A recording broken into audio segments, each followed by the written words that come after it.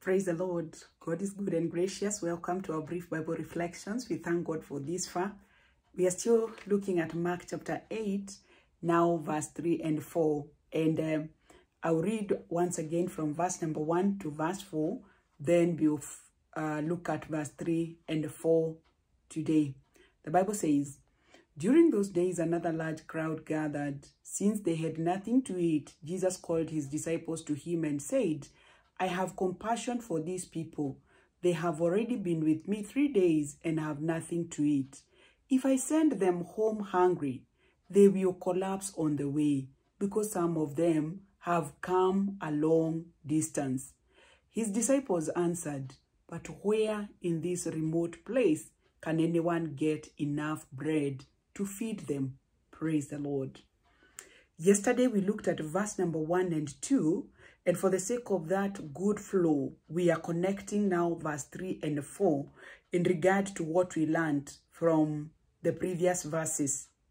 And um, the main thing that came out is that Jesus has great compassion concerning your needs and my needs. And so we should not worry. And the secret is to sit at his feet.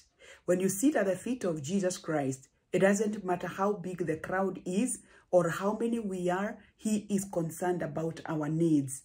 As he shows compassion to these people, he is even extending the same uh, feeling and uh, compassion, saying that if I send them home hungry, they will collapse on the way. And this is where we kept saying that the Lord is so concerned about your life and he knows your strength. He knows what you can bear.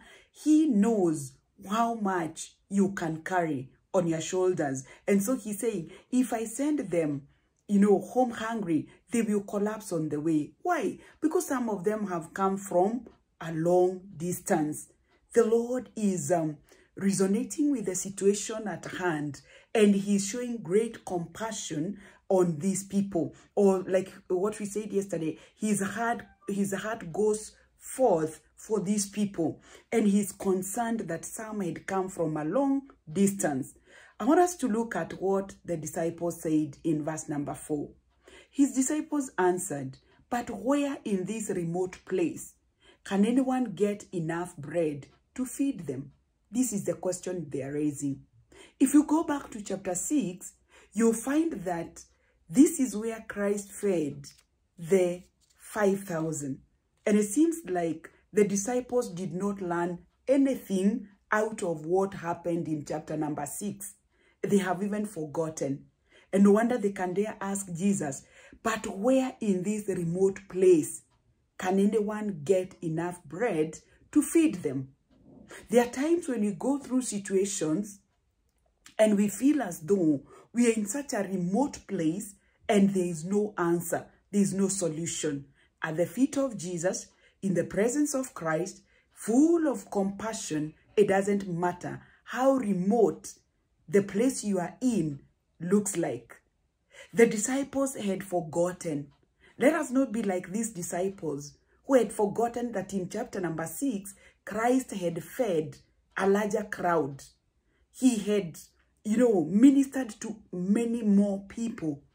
And no matter how remote the place you are in may look like, there is bread, there is enough, because at the feet of Jesus, all our needs are met. Praise the Lord. They are asking, but where in this remote place can anyone get enough bread to feed them? They are limiting the power of Christ, yet they had seen what Christ had done earlier. Today, in your personal life, there are things that the Lord has done for you in the past. And today you may be facing a situation that looks like it is so hard. Wherever you are is so remote and you think that there is no enough bread to feed you. Or even the voices that you can hear, they are, they are voices that are saying, where can we get enough food to feed you? Where can we get a solution to your issue? Don't listen to those voices. Listen to the voice of Christ. Tap on the compassion of Christ.